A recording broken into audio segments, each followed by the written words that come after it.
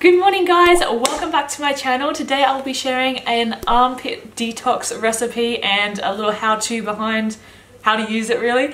I'm really excited to share this with you because I've been wanting to do this one for a while. Ever since I saw this armpit detox earth purities brand at Biomi when I was there in Queensland earlier this year, I've been wanting to try it out because I was like this sounds pretty cool. I know it was just me, I just think that sounds really awesome to try detoxing your armpits. I just think like wow such a strange thing to do but yet intriguing so I researched into it and some of the reasons why you would do an armpit detox is say you've switched from a conventional deodorant and you're using now a more natural deodorant that you might have made or that you've bought and you found that it's been sort of a transition period for you. So maybe you found that you're getting excessive sweating or rashes or like just odor that you can't really mask and you're like why isn't this working? This can be because your body's still switching over from the conventional to using a more natural deodorant and it's kind of still going through the processes from before because a lot of conventional deodorants have things like aluminium which is really really not good for you to be spraying onto your body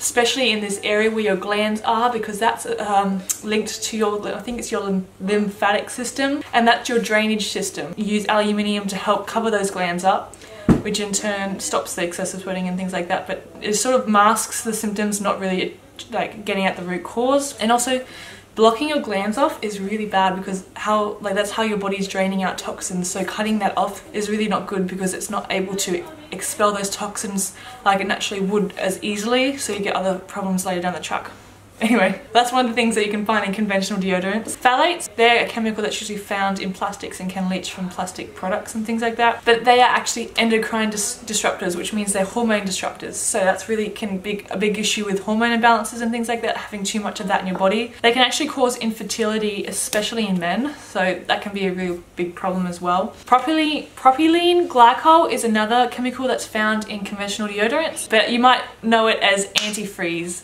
Now a lot of you we know that antifreeze is something you do not ingest, it's a terrible chemical, but we're in a sense ingesting it when we spray it onto our bodies because our, our skin absorbs that. And it actually goes into our bloodstream, gets circulated around the body, and it's not good. Formaldehyde can also be found in conventional deodorants and it is a known carcinogen carcinogen, which means it has the potential to be cancerous, so it's something you don't want to be putting in your body. Parabens are another toxin that you do not want to put in your body and can be found in some conventional deodorants, and that is also another hormone disruptor as well, and they've actually found in biopsied tissues um, of breast cancer this chemical in that, which is like, ooh, not good. Now it makes sense, I guess, if you're spraying it um, right near your breast area, I guess it would naturally could go there. And finally we have antibacterial substances which can also be found in conventional deodorants and I've mentioned them a lot in the past about my thoughts with antibacterial products and I must say I'm more for the natural antibacterial things like essential oils, like just keeping yourself clean using soap and water, not really needing antibacterial things, just because they're also endocrine disruptors and they can also affect the immune system.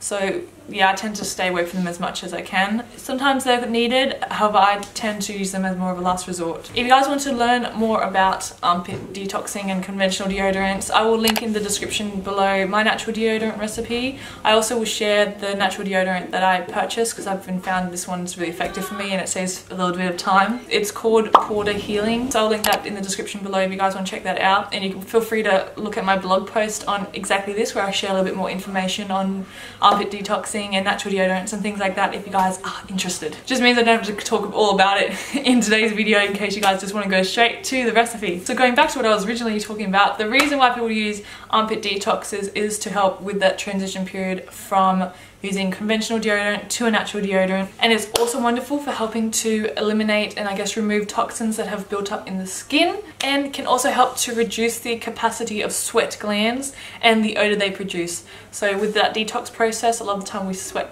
can often be one because we're hot and two we're eliminating toxins that way. So using this can help draw out those toxins a little bit quicker and help to reduce that sweating and odor produce from that. so just doing this can actually help to release toxins in a way that just plain soap and water in the shower may not be able to do. So it actually recommends that you do an armpit detox at least once a week or bi-weekly, which is just twice a week for a month until your body kind of transitions over to I guess doing it and using natural deodorants. So I'll be sharing the armpit detox with you guys today. So you're going to need some apple cider vinegar. I use the one with the mother in it just because it has all those healthful bacterial probiotic properties in there. And I get this Redmond clay online. You can also find it at health food stores.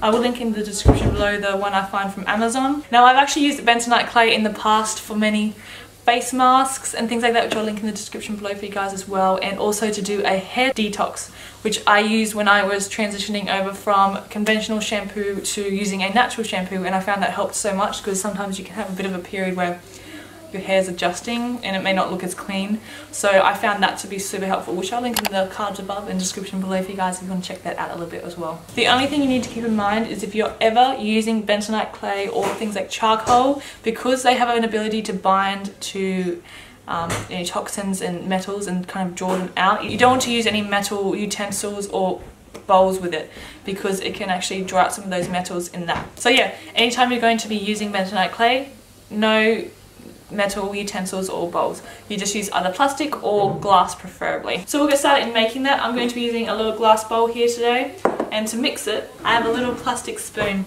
So I'll just be using that today.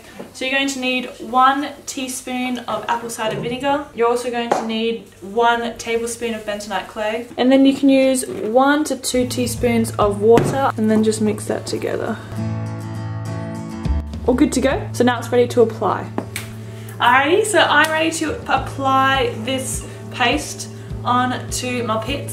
So all you're going to do is just spread an even layer on both underarms and you can leave it for up to 5 to 20 minutes. Now if you're just starting out, I do recommend just leaving it on for the minimum amount of time and working up from there. Why? It's a good question. Just to see how your body reacts to the paste going on it. Sometimes people can have really sensitive skin. Now if it hurts at all, remove it immediately. You may find it may cause some redness when you take it off afterwards and that's just because it increases blood flow to the area area. But you'll find it will go away quickly after a few minutes or so. Now if you want to remove it, you can go and remove it in the shower or you can just use a warm wet washcloth and just gently remove it that way. So you can repeat this daily or as needed until the odor goes away and when you put natural deodorant on, it's not irritating your skin. Some people have found that they don't even need to put baking soda in their natural deodorant after doing this because they find the odor is very minimal and doesn't require baking soda to help keep that at bay. So I'm going to apply that on now now.